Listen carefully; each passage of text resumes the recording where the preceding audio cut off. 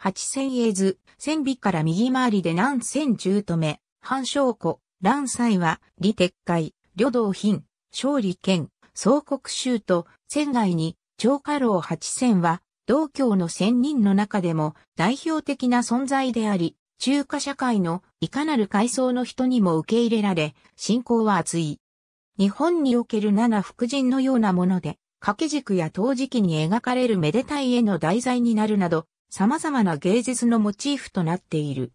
八千のメンバーは時代によって異なっていたが、口述する小説、八千ドンズーキ成立後は、以下の八人に固定された。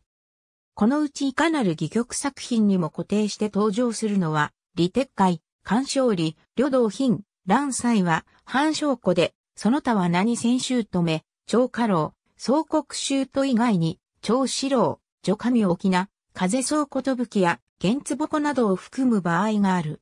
八千は、それぞれが人数力を発揮する法器を所持しており、それらは、暗八千と呼ばれて八千を象徴するものとして図案化されている。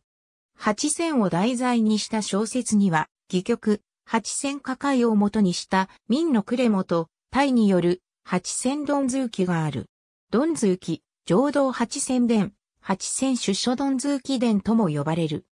全56回からなり、前半は八千の特道伝が、後半では八千が東海を渡る際、彼らと司会竜王との間に起こったいさかいについて語られている。ある日、聖王母の縁に出た八千たちは、蜃気楼を見るために、東海へと遊びに出る。だがそこで、乱祭話が乗っていた、玉版が、東海竜王の大使に盗まれ、乱祭話は捕らえられてしまう。旅道品は、竜王と争い、乱祭話を解放させたが、玉版は返されないままだった。竜王たちの行いに起こった八戦は竜宮に押しかけるが、そこで、旅道品が東海竜王の大使たちを殺傷したため、東海竜王は軍勢を出して彼らを撃とうとする。八千がこれに応戦し、東海一帯を焼いたため、東海竜王は他の南海竜王、北海竜王、西海竜王と協力して戦い、八千を破った。だが八千たちが海に大山を落としたため、竜王軍勢はまたもや敗北し、四人の竜王たちは、天帝に八千の行いを訴える。